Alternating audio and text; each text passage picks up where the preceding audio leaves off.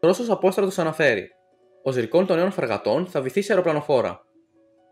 Ο πρώην Ρώσος συνταγματάρχης Βίκτορ Μπαράνετς έκανε κάποιες απειλητικές δηλώσεις σε συνέντευξή του σχετικά με τον εξοπλισμό των νέων ρωσικών φρεγατών με τον υπερηχητικό πύραυλο Ζυρκόν.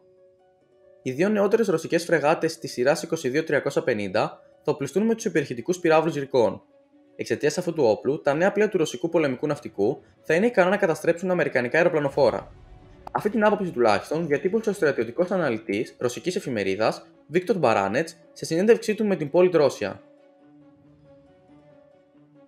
Το Ρωσικό Υπουργείο Άμυνας συμφώνησε σε ένα σχέδιο που περιλαμβάνει την κατασκευή δύο νεότερων φρεγατών της σειράς 22-350, οι οποίες θα δυναμώσουν το στόλο της Μαύρης Θάλασσας. Σύμφωνα με δημόσια γνωστές πληροφορίες, αυτά τα πλοία θα λάβουν νέο ραντάρ, ενημερωμένα συστήματα αεράμινα όπως και τους υπερηχητικούς πυράβλους ρικών. Ο στρατιωτικός αναλυτής και πρώην συνταγματάρχης Βίκτορ Μπαράνετς, σε συνέντευξή του με την πόλη Τρόσια, είπε, πως, είπε πως ο Ζυρκόν θα αυξήσει σημαντικά την ισχύ πυρός μιας τέτοιας ρωσικής φρεγάτας. Πρόσθεσε πως χάρη στα υπερηχητικά όπλα, αυτά τα σκάφη θα είναι σε θέση να καταστρέφουν ακόμη και ολόκληρα αμερικανικά αεροπλανοφόρα.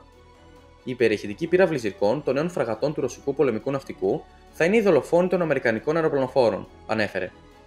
Ο Βίκτορ Μπαράνετς σημείωσε πως το ΝΑΤΟ δεν διαθέτει ακόμη κάποιο αντίδοτο εναντίον των ρωσικών ζυρικών, ενώ πιστεύει πως δεν θα το βρουν για αρκετό καιρό. Πετούν με τόσο υψηλή ταχύτητα που καμία τεχνολογικά εξελιγμένη χώρα του κόσμου δεν διαθέτει τα κατάλληλα μέσα για να τους ανοιχνεύσει και να τους αναχαιτήσει. Ο πύραυλος Ζυρκών, ο οποίος κανονικά ονομάζεται 3Mi-22 Τσρικών, είναι ένας νέος ρωσικός υπερηχητικό αντιπλοϊκός πύραυλος με δυνατότητα μεταφοράς πυρηνικής κεφαλής. Ο Ζυρκών μπορεί να χρησιμοποιηθεί εναντίον πολεμικών πλοίων, όπως επίσης και εναντίον διάφορων στόχων επιφάνειας. Το 2020, ο πύραυλος επίδειξε βεληνικές άνω των 500 χιλιόμετρων.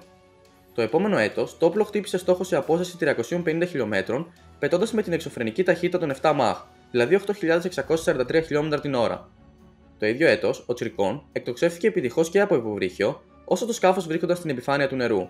Βέβαια, η Μόσχα ανέφερε πως την ίδια μέρα κατάφερε να εκτοξεύσει τον πύραυλο από το ίδιο υποβρύχιο, ενώ βρίσκονταν σε βυθισμένη θέση. Κάποιες πηγές αναφέρουν πως ο συγκεκριμένος πύραυλος μπορεί να έχει βεληνικέ που φτάνει ακόμη και τα 1000 χιλιόμετρα, αναλόγως στον τύπο του στόχου. Υπάρχουν επίσης δεδομένα που προτείνουν πως η μέγιστη ταχύτητά του πλησιάζει τα 8 μαχ, δηλαδή τα 9.878 χιλιόμετρα την ώρα. Αυτό ήταν το βίντεο. Αν σας άρεσε, μπορείτε να κάνετε εγγραφή στο κανάλι για να λαμβάνετε ειδοποίηση για κάθε νέο. Μην ξεχνάτε να μας κάνετε σχόλιο με την άποψή σας.